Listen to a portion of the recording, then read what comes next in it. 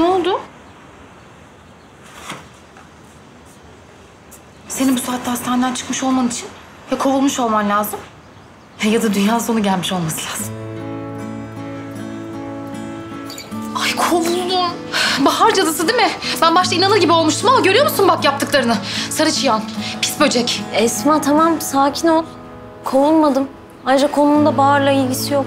E ne oldu peki? Ya geçenlerde kaldırımda müdahale ettiğim hasta. Bugün gelip olay çıkardı. Ay bu insanlar neden bu kadar nankör ya? Adamın hayatını kurtarıyorsun geliyor düşman oluyor. Ya da gelip vuruyor. İnanamıyorum yani. Ay bak yine düşünce bütün içim sıkıldı yani. Ay Allah'ım seni korusun ya Rabbim. Seni korusun. Bunlar ne? Geçmiş olsun kitlere. Ne Esma bu ya? Kek, süt ve kolonya. Yani biri Mehmet için, biri Alp için. Geçirdikleri rahatsızlıklardan dolayı. Bir dakika Mehmet'i anladım da... Alp? Sen Alp'ten mi hoşlanıyorsun? Ya hoşlanmak ne kelime? Benim kalbimin dörtte üçü Alp'e ait. Dörtte üçü. Dörtte biri kimin için atıyor Esma? Oğuz. Bu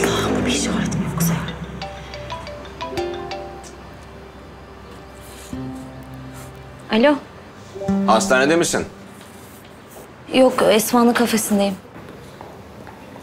Yani eminim merak etmiyorsundur ama üvey annenin ameliyatı iyi geçti. Gayet iyi. Teşekkür ederim. Sana borçlandım. Bence de.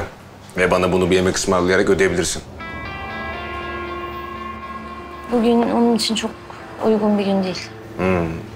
Neden? Söylediklerim yüzünden mi? Ben zaten o söylediklerini hiç söylememişsin farz ediyorum. Yani maalesef bu mümkün değil. Sabah ne hissediyorsam şu anda da aynı şeyleri hissediyorum. Ve bunları konuşmak için de buradan dost doğru yanına geliyorum. Ee, Oğuz şimdi gel...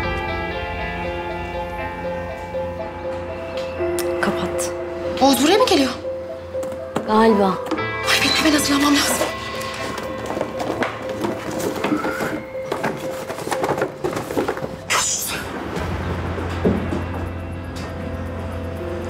Hayır Esma ya. Of, Oğuz olmasın ya.